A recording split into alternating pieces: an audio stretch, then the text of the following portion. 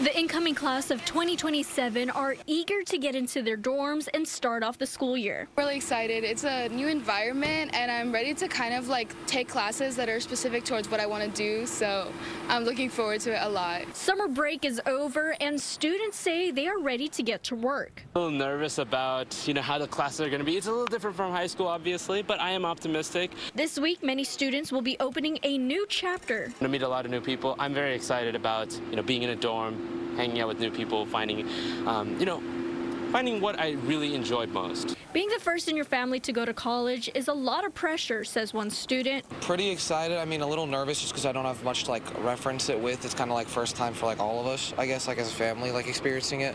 But I'm still pretty excited. Um, I'm a bit nervous, but I know it's going to go well. So starting classes this week isn't the only thing students are looking forward to. UT's first football game is in less than two weeks. Oh yeah, I'm gonna try to make it to all of them. I got like the big ticket thing, so I'm gonna try to make it to all the home games and some of the away games. Like I got some friends at like uh, Baylor and A&M, so if we ever like play them, I'm gonna go. So welcome back the Longhorns. UT has signature events going on throughout the week.